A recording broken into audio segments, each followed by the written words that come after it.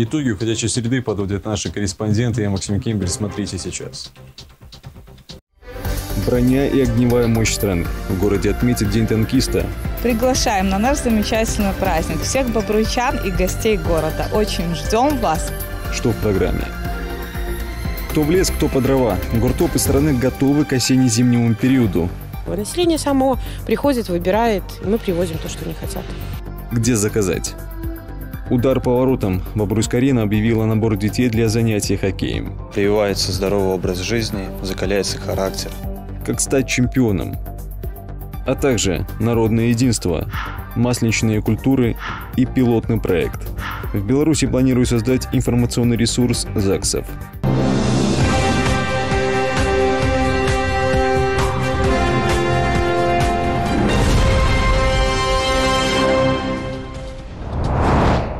Грохот орудий скрежет гусениц. В Бобруйске отпразднуют День танкиста. У города на Березине славная военная история. До 1992-го здесь дислоцировалась 5-я гвардейская краснознаменная армия, 70 тысяч штыков и 3 тысячи бронетранспортеров. День танковых войск по всей стране отметят в воскресенье. В Бобруйске торжество начнется раньше, в четверг. В Киселевичах у мемориала боевой славы в честь танкистов-днепровцев произойдет возложение. Начало в 15.00. На нашем празднике будут площадки, учреждения здравоохранения, а, площадка Бобруйского ГРОЧС. К нам приедут кинологи, а, у нас будет площадка БРСМ. Приглашаем на наш замечательный праздник всех бобруйчан и гостей города. Очень ждем вас. В программе концерт, квест-игра «Путь к победе», мастер-классы, лазертаг, аквагримы и катание на лошадях. Для самых маленьких будет работать городок и батуты. С полпятого полевая кухня угостит солдатской кашей. Завершится праздник фестивалем светящихся шариков.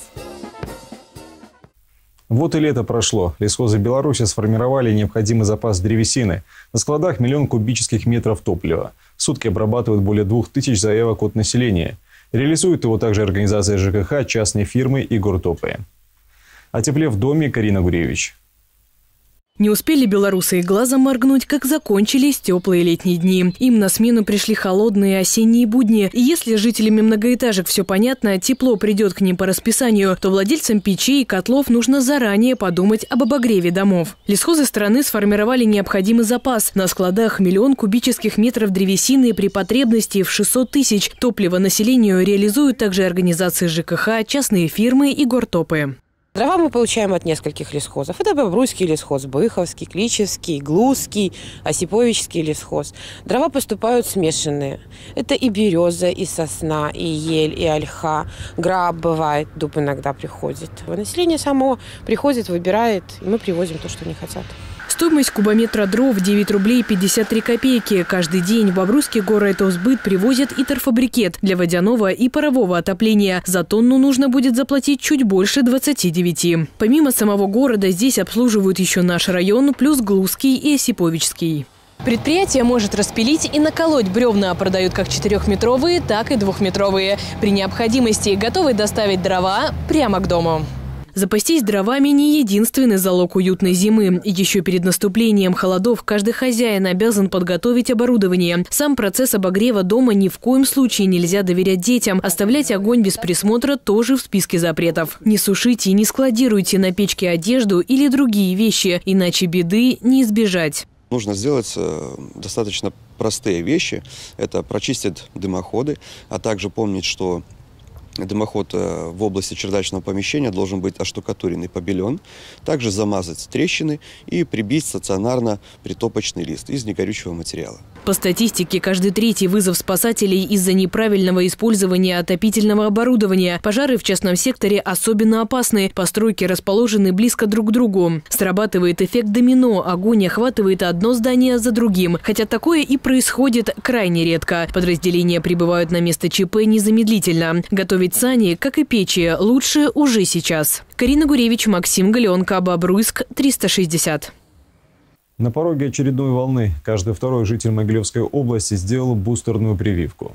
В Бобруйске это свыше 60 тысяч человек. Рост числа случаев заражения в регионе уже заметен, хоть и незначительный. Для ревакцинации лучший вариант «Спутник Лайт». Для первичной подойдет гам Ковид-Вак или Верацел.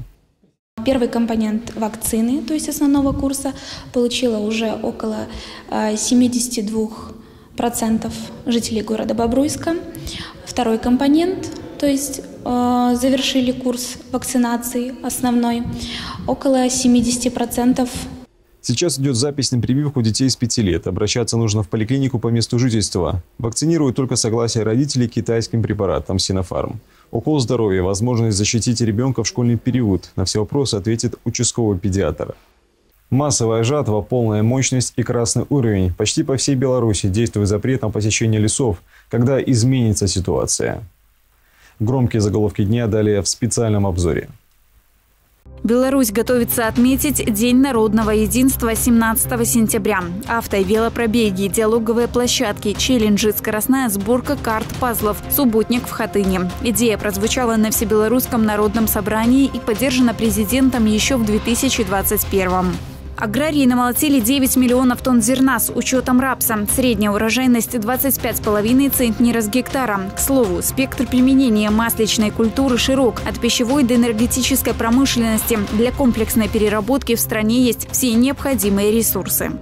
Белджи до конца года планирует выпустить 12 тысяч автомобилей. Предприятие работает на полной мощности. Удалось снять практически все нерешенные вопросы с китайскими партнерами. Кроме того, продолжаются переговоры с коллегами из России и Ирана по развитию производства легковых машин. В Беларуси планируют создать информационный ресурс ЗАГСов. Архивные данные станут доступны в электронном виде. Это упростит процесс получения документов и сократит время административных процедур. Министерство юстиции уже поручило создать пилотный проект на базе одного из отделов страны. Эксперимент поможет определить проблемные вопросы и совершенствовать программное обеспечение. В 116 районах страны действует запрет на посещение лесов. Минприроды объявила красный уровень опасности как минимум до 9 сентября. Причина в сухой погоде и пожарах в массиве. В ближайшие дни столбики термометров днем будут показывать до плюс 27, ночью не больше 7 тепла. Страховка безопасности. Белтехосмотр за август выдал свыше 95 тысяч разрешений на допуск к участию в дорожном движении. Показатели выше прошлогоднего на 3,5%. За отсутствие документа грозит штраф до 96 рублей. За повторное нарушение в течение года до 160. Перед прохождением стоит проверить работу световых приборов, наличие аптечки, огнетушителя и знака аварийной остановки. С собой нужны права, техпаспорт и страховка. Оплатить услугу можно на месте. Есть возможность записаться онлайн. Техосмотр необходимо проходить, э, потому что, ну, во-первых, это требование законодательства. Во-вторых, и, на мой взгляд, это даже более важно, для обеспечения собственной безопасности, безопасности других участников дорожного движения. Потому что мы проверяем э, ключевые элементы, которые влияют на безопасность дорожного движения, такие как рулевое управление, подвеска, э, тормозная система, световые приборы. Напомним, техосмотры отвязали от обязательной оплаты госпошлины. На смену пришел транспортный налог. Сумма привязана непосредственно к факту наличия автомобиля. Ездит он или нет, неважно, платить все равно придется. Произвести доплату за 2021 необходимо до 15 ноября. Все ставки можно найти на сайте МНС. С клюшкой в руках и искрами в глазах Бабрусь-Карина проводит набор детей для занятий хоккеем. Принимают как мальчиков, так и девочек от 6 до 8. Ребятам выдается игровая форма и амуниция, обучение бесплатное. Преимуществ у занятий хоккеем много. Тренируются все группы мышц, крепляется сердечно-сосудистая и дыхательная системы, развивается чувство равновесия и координации, и в целом закаляется организм. Обучение технике катания, обучение владению клюшкой, э, прививается здоровый образ жизни, закаляется характер – происходит правильное развитие организма детей во всех направлениях. Сейчас в спортивной школе занимается более 180 ребят. Набор на обучение осуществляется круглый год. По всем вопросам можно обращаться по номеру 730371, либо по адресу Карбышева, 11. Сразу после нас «Сирена». Моя коллега Кристина Ариан с обзором криминальных новостей недели. Не пропустите. Это все и события к этой минуте. Смотрите нас в интернете и соцсетях. Мы в эфире каждый будний вечер. Счастливо.